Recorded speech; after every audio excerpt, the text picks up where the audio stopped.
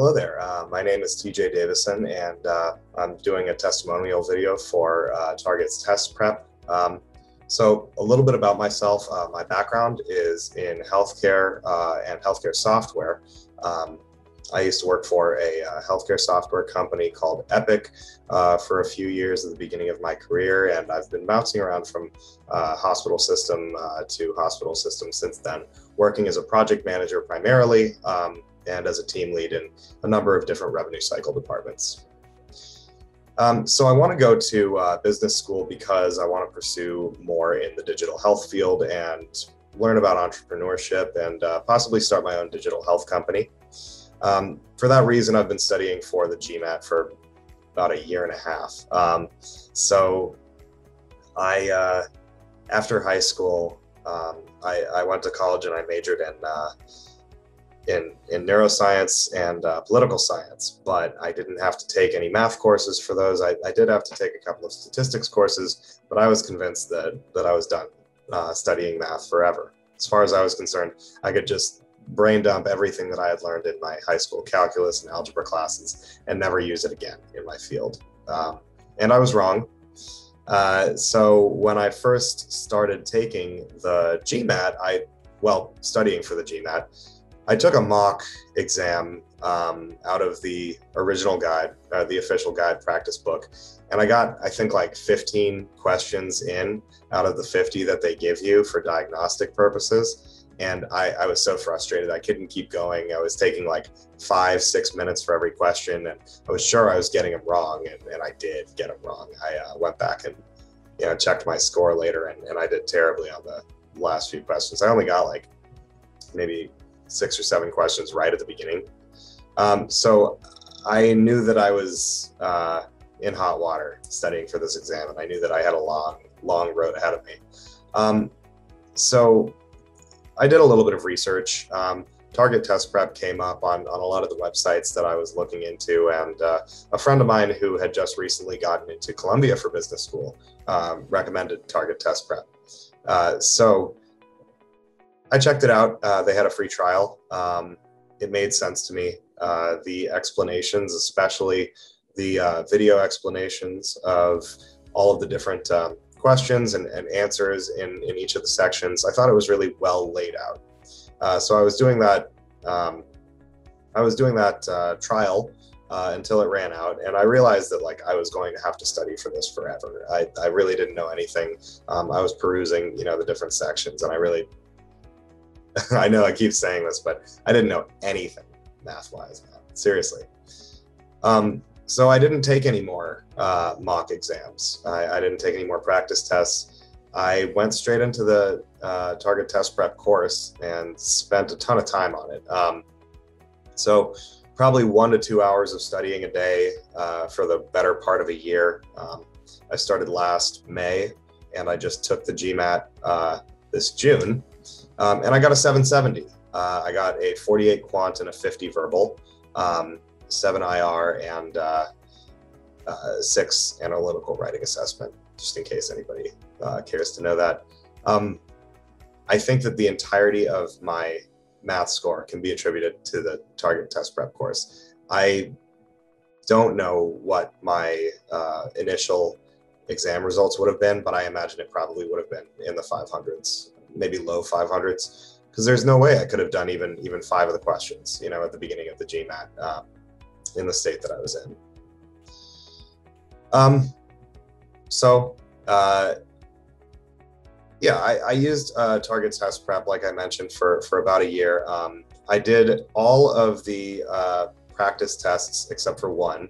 Um, I pasted out so that uh, I was doing, I think, like one chapter of um, the target test prep uh, about every two weeks, um, and I would I would spread that out through all of the practice tests that you had to take, and um, eventually, you know, I got through all of the I think like 26 or something uh, chapters, and I was getting better um, at that rate of study for me.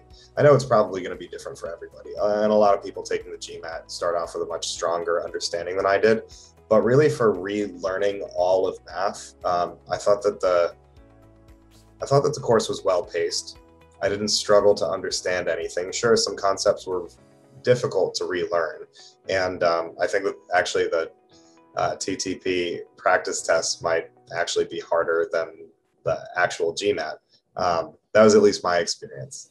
So uh, that was a pleasant surprise when I got to the GMAT. Um, so I have to say, uh, I think that my favorite thing about the course was probably how many practice sets they have you do and how every single problem in every practice set has uh, a video explanation. That's great. Um, the ability to go back and look at how am I actually supposed to do this question and can somebody explain it to me while they're doing it on paper? That was extremely valuable for me.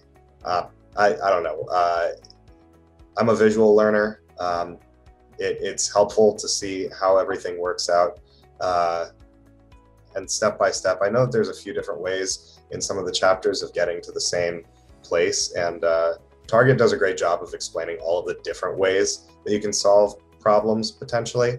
Um, so, you know, you can stick with uh, whichever one works best for you, whichever one makes the most sense. And I definitely did. Um, I took, I think, most of uh, the ones that they recommended. Just made sense. Um, so, uh, like I said, about a chapter every every couple of weeks, um, and then I spent a very long time at the end there, um, just going back and doing practice test of after practice test of uh, random problems. I used their analytics quite a lot. So every time I'd finish um, a chapter, I would go through and, and use the analytics to determine, okay, so which problem sets am I the weakest in? And uh, there's a lot of reading that they have you do on strategy.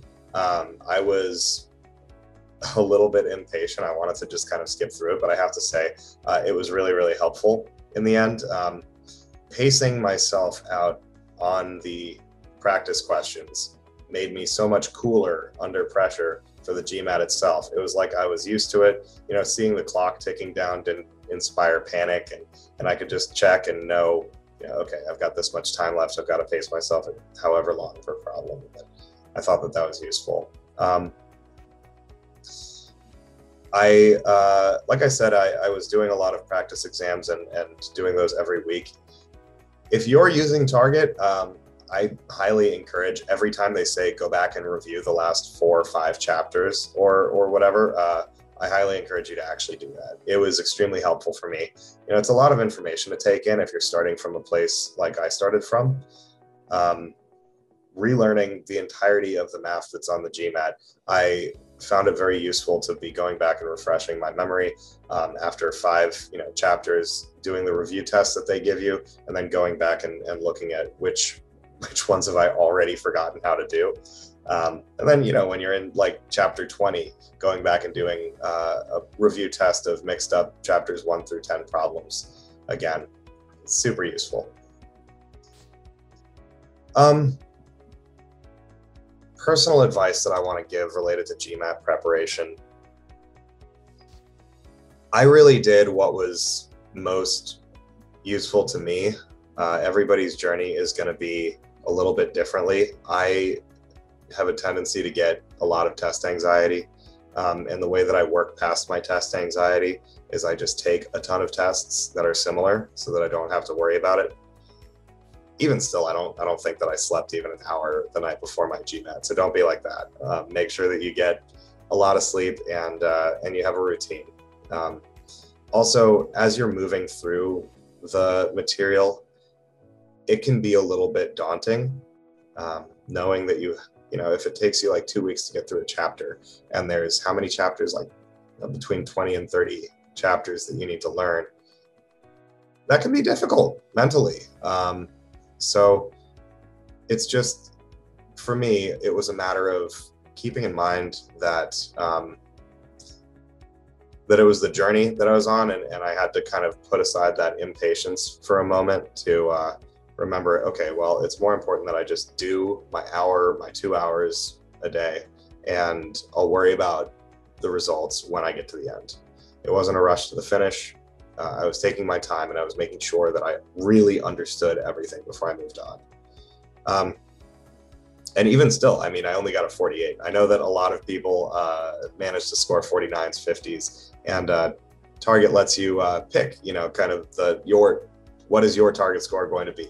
Is it uh, you know 49 to 51? Is it you know somewhere in the 40s? Um, I picked 49 to 51 um, because I just I wanted to see everything that they could give me. I wanted everything to be thrown at me uh, right out the gate, so that when I got to the GMAT, finally I would, I would know what I was doing, and there wouldn't be any surprises. Um, and I have to say there there weren't really any surprises. I think the mistakes that I did make on the GMAT were more um, due to test anxiety and jitters. Uh, that also brings up a good point. Um, I, I, took the math section first. It may have been better for me to take the verbal section first so that I could ease into the test a little bit more and uh, do a better job on, on the quant section um, after I had gotten that initial anxiety out of the way.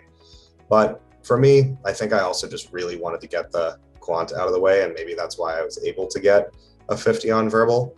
Who knows? Um, I'm not going to be going back and retaking it anytime soon to to find out. But uh, I think taking as many of the practice tests as you can, experimenting with the section order is a good idea. Um, and be honest with yourself, like about how well you understand the material.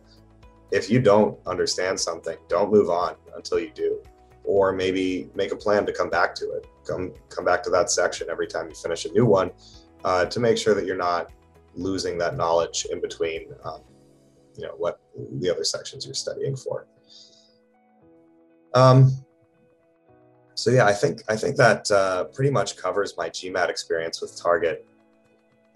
My final thoughts about it: their their program is constantly being updated with new modules. Actually, it was a little bit frustrating at times to come back in and know that I had finished a bunch of the sections, and then it's like, oh, you have two, three more sections to do since last time because uh, Scott added new material for you to review. And it'd be like, man, I thought I was done with statistics or properties of numbers, you know, whatever. Um, but this is really useful. I mean, as they're learning better strategies for GMAT test takers with real data, they're giving that back to us. That's really useful to me. Um, it, it forced me to go back and revisit those things that I might have been weaker in uh, before.